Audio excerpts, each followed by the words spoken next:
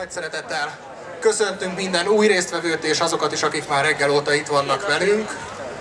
Erről a színpadról is szeretnénk üzenni Budapestnek, az országnak, hogy demokratáknak tartjuk magunkat, és demokrataként nem félünk.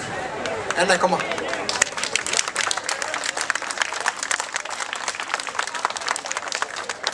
ennek a magatartásnak, ennek a civil kurázsinak egyfajta megnyilvánulási lehetőségét akartuk most biztosítani, és ennek jegyében a délelőtt folyamán véleményükkel minket megkeresőket bíztattuk arra, hogy mind személyükkel, mind gondolatokkal álljanak ki, és ezen a színpadon osszák meg veletek azt, hogy mit is gondolnak a ma Magyarországáról, és miért gondolták úgy, hogy fontos az, hogy közéleti, politikai szerepet vállaljanak. Elsőként akkor felkérném Pál Gézát arra, hogy mondja el gondolatot. Köszönöm szépen, erőt, egészséget, kellemes napot kívánok mindenkinek. Azzal kezdeném, hogy vádolom a Fideszt. Vádolom őket a demokrácia lerombolásával. Vádolom őket azzal, hogy tetszhalába fogyasztják a magyar nagyvállalatokat ezzel, ezzel egyszerűen megakadályozzák az ország fejlődését. Vádolom őket azzal, hogy az új munkatörvénykönyvével újabb ezer forintokat akarnak kihúzni a bolti eladók zsebéből. És vádolom őket azzal, hogy a legelesettebbektől akarják lehúzni a sápot, hogy az oligarchákat és a vagyonosokat támogassák. Vádolom őket azzal, hogy ész nélkül alakítják át a felsőoktatást, és a havi 5000 forintos tandíj bevezetésekor ugyan nemzethalált kiáltottak, de ennek ellenére ők több százezer forintos csapást mérnek az egyszerű emberek pénztárcájára. Vádolom őket a magyar jog feldullásával. A magyar törvényekben képeződik le, hogy a magyar nép mit tart erkölcsösnek, és mi az, ami ellen küzd. Vádolom a Fideszt, mert Magyarországra akarja kényszeríteni a 17. századot tükröző katolikus erkölcsiségét, a vallás és az állam összefonódását, a jobbátság és a hűbéri rendszer rehabilitálását, a röghöz kötöttséget. Szerencsére Magyarország még demokratikus jellegű ország. Apáink azért dolgoztak, kockáztatták személyes szabadságokat, hogy ránk egy demokratikus országot hagyjanak. Nem nekünk ajándékozták ezt a felszabadult országot, hanem gondjainkra bízták hogy továbbadjuk gyermekeinknek, unokáinknak.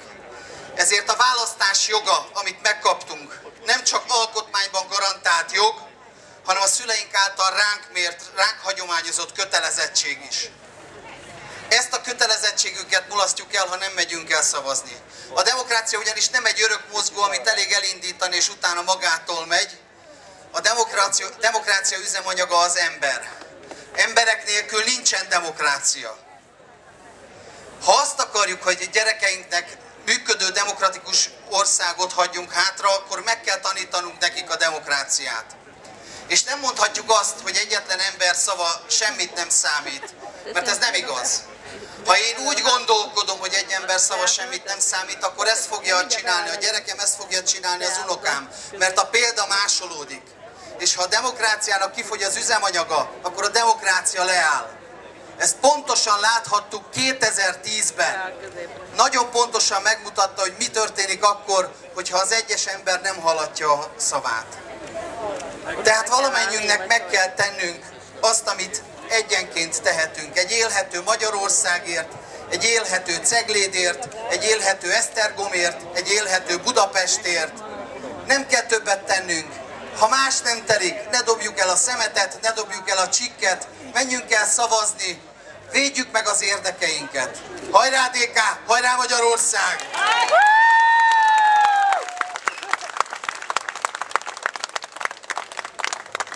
Géza, köszönjük szépen ezt a pesgő felvezetést, és Lénád Lászlót megkérném arra, hogy folytassa. Köszönöm szépen. Jó napot kívánok mindenkinek, kezi csókolom, szervusztok. Hogy mit érzek, amikor Magyarországról gondolkodom, egyesek persze ezt a képességemet néha kétségbe szokták venni, de azt érzem, azt érzem, most jó? Jó! Köszönöm. Azt érzem, hogy Orbán Viktor átszervezte az országot. Emlékezzetek rá, hogy rugóztunk ez ellen a szó ellen, hogy átszervezés. Azt próbáltuk magyarázni, ez nem átszervezés, hanem megszorítás. Ragaszkodtunk ahhoz, hogy megszorításban gondolkodjunk, holott átszervezés van. Gondoljatok bele, valamikori vállalatotoknál, vagy jelenlegi vállalatotoknál, amikor átszervezés volt, akkor valami mindig megváltozott. Más erőviszonyok, más emberek kerültek előtérbe. Nos, átszervezte az országot. Még azt sem mondhatjuk, hogy nem mondta. Azt mondta, egyszer kell nyerni, de akkor nagyon. Meg a központi erőtér. És átszervezte hogyan? Úgy, hogy a frakcióvezető mondja, mindenki annyit ér, amennyien van. Egy új társadalmat szervez, és ezzel vagyok én nagyon borzasztóan elégedetlen. Egy olyan társadalmat, ami nem az enyém, ami nem a tietek, ami nem lehet Magyarországé. Egy olyan társadalmat, ami a kizsákmányoláson, az anyagi javakon, a bratizáson, a mutyikon szól. Ilyen társadalomban nem lehet élni. Létrehozta a nemzeti együttműködés rendszerét, amit én magamban a nemzeti megfélemlítés rendszerének hívok, hiszen unos untalan tesz róla, hogy állandóan valakiknek, valamilyen csoportnak, a pedagógusoknak, az orvosoknak, az egészségügyi szakdolgozóknak, bárkinek a fejére üssön, hogy félj, mert nem lesz állásod. És félnek az emberek. És majd akkor fognak még többen, mint akik itt vannak, odaállni ki a szabadságért, az igazságért, a demokráciáért, amit elloptak tőlünk átszervezés címen, amikor elég lesz abból, hogy a félelmet az elkeseredettség fogja felülmúlni. Amikor öreg fejjel ezen gondolkodom, és ránézek az unokámra, és hallgatok olyan beszélgetéseket, hogy fiam, ide menjél, lányom, oda menjél tanulni, és ha majd elvégezted, menjél külföldre dolgozni. Elhagyja az országot a jövőnk. A jelenünk miatt elhagyja a jövőnk. Én nem akarok ilyen országokra élni. Remélem, hogy ti se akartok. Ha ez így van, hangos nemet kérek. Nem! Köszönjük szépen!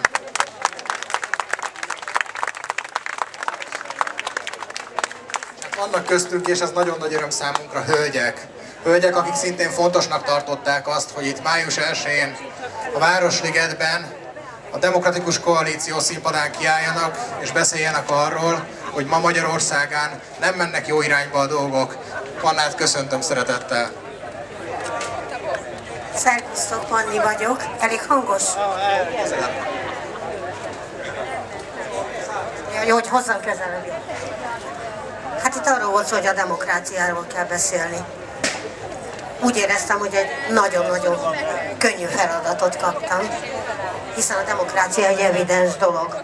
Több ezer éve görögök kitalálták.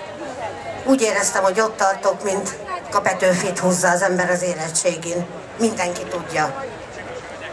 Aztán kiderült, hogy nem olyan egyszerű a dolog, mert Magyarországon élünk, ahol van egy kormány, amelyik a demokráciát egészen másképp értekeli, és egészen másképp jeleníti meg, mint hogy eddig nyugaton, Nyugat-Európában a görögök vagy bárkik demokráciának tartottak egy demokráciát. Ugye Bibó azt mondta, hogy az az, az ember a demokrata, aki nem fél. Okunk van félni? Van okunk félni van okunk félni, mert 70 évvel ezelőtt, ha valaki valamit a demokrácia érdekében tett, tudta, hogy egy fasiszta rendszerbe, félfasiszta rendszerbe él, börtönbe fogják csukni, előre vállalta a következményeket. Most elmondja a véleményét, és holnap nincs munkája. Holnap jön az APEC. Megvizsgálni, hogy minden rendben van-e. Akkor is, ha egy fekete mosogató egy étterembe. Tehát van okunk félni. Itt választás előtt állunk.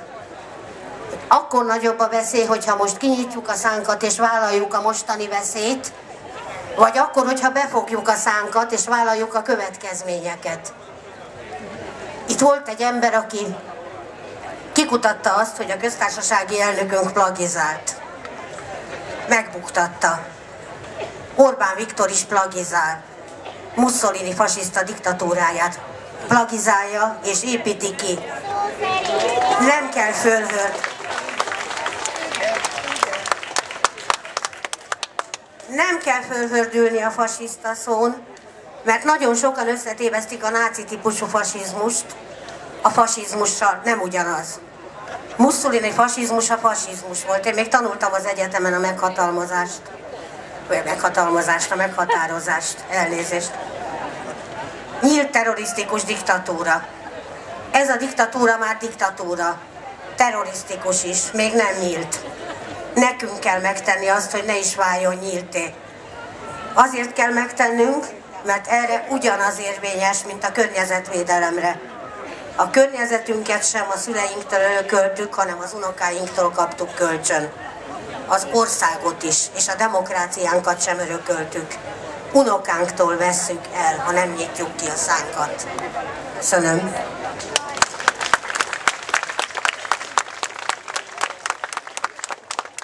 Köszönjük szépen! És akkor egy újabb hölgy következik, fiatal, Albert Eszter. Szervusztok, kedves barátaim! Szeretettel köszöntelek itt titeket a Demokratikus Koalíció első majálisán. Nagy tapsot mindannyiunknak!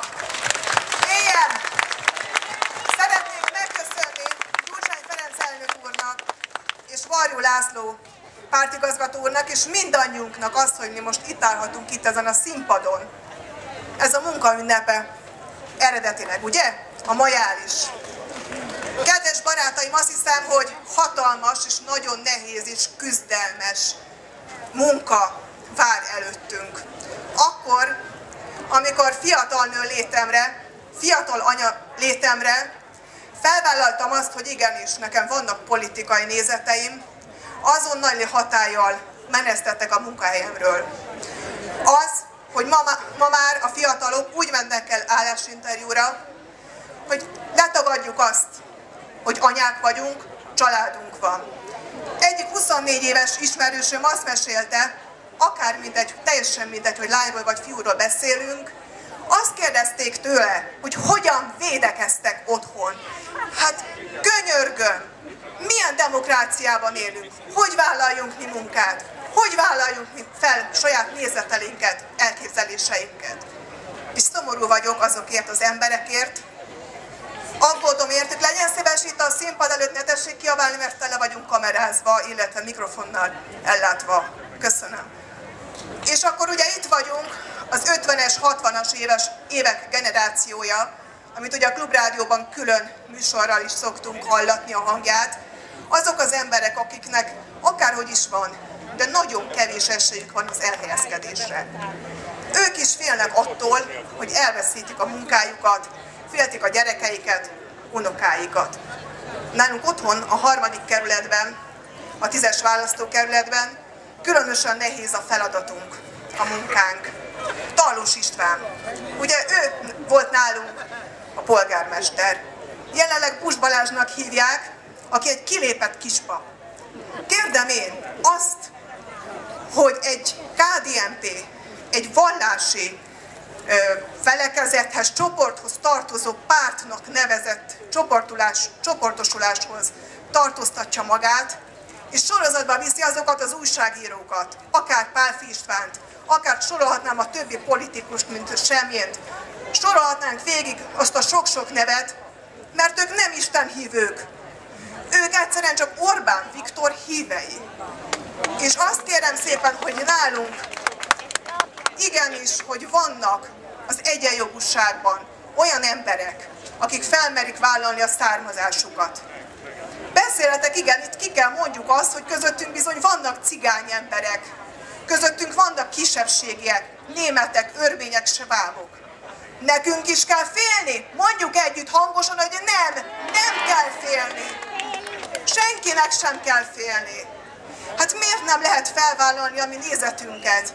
ami politikai, baloldali, balközepes, akár liberális nézetünket. Hát miért? Könyörgöm. És tegyünk együtt a munka ünnepért közösen azt a mondatot mondjuk el, hogy ránk bizony munka vár. És ugyanitt jövőre, május 1 még többen itt fogunk találkozni, Találkozni fogunk következő május 1-én Szervusztok barátaim, jövőre ugyanígy fogunk találkozni, és lesz munkánk, és nem fogunk félni. Köszönöm.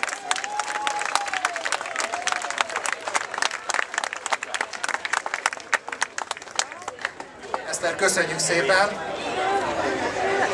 És akkor még egy kis figyelmet kérnék. Kalai Dávidnak adnám meg a szót, ő, ő zárja a sort. Hát nagyon szépen köszönöm. Dávid, arról beszélj már, légy szíves nekünk egy kicsit, hogyha lehet, hogy fiatalként, budapestiként, ha jól tudom, miért gondoltad úgy, hogy neked ezen a színpadon itt ide kell állni, és a véleményedet egy jó nagy tömeg előtt elmondani. Amúgy álmatlan éjszakám is volt emiatt, hogy föl kell állnom ide a színpadra, de én igazi demokratának gondolom magamat.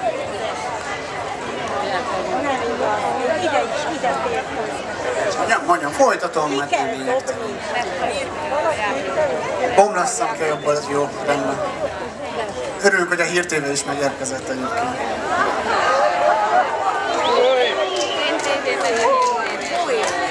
De majd remélhetőleg elmennek, vagy nem tudom. Nem kell elzavarni, figyeljenek rám, jobban járunk szerintem. Fiatal, fiatal demokrataként végighallgattam az előző felszólalásokat, és lényegében egy maradt ki a felsorolásból, az összetartás. És pont amikor Rés üt a Fidesznek a pajzsán, vagy a kormánynak a pajzsán, akkor ők mindig ellentámadásba lendülnek, ahogy most is. És ha nekünk fiatal demokraták össze kell tartanunk idősekkel együtt. A legszomorúbb az egészben, hogy egy olyan szóvivővel támadnak, aki éppen tíz éve egy kiflit emelte le egyik bevásárlóközpontból. És nem is olyan régen a megtakarításainkat költötték el az ő vezetésével, vagy védelmezésével. Erről nem szabad megfeledkezzünk, össze kell tartani, harcolni kell, és ez a fiatal demokraták ebben mindenféleképpen élen fognak lenni ebben a munkában. Hát köszönöm szépen. További szép napot mindenkinek.